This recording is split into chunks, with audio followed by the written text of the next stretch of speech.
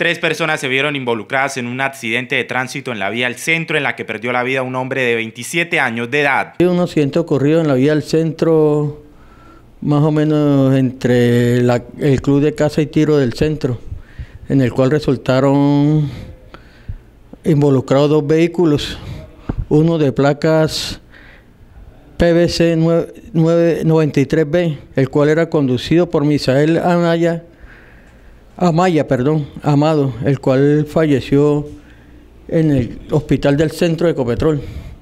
Y los otros dos resultaron también dos lesionados del vehículo de placas AKE 21C, en el cual los nombres Oscar Fabián Giraldo y Yuri Karina Rodríguez Barbosa, los cual no se ha podido establecer quién es el conductor de estos vehículos porque se encuentran en diagnósticos reservados allá en el Hospital San Rafael. El agente además mencionó ser preocupante la movilidad en esta vía, ya que en lo que va del mes se han registrado varios accidentes de tránsito. En lo que ha corrido ya se han presentado varios accidentes y siempre han sido de gravedad, siempre ha habido lesionados ya. Y, fallecidos en ese sector del centro. El respeto en la vía, tanto a los actores como peatones, vehículos que se encuentran transitando al lado y a, a un lado de la vía y al frente.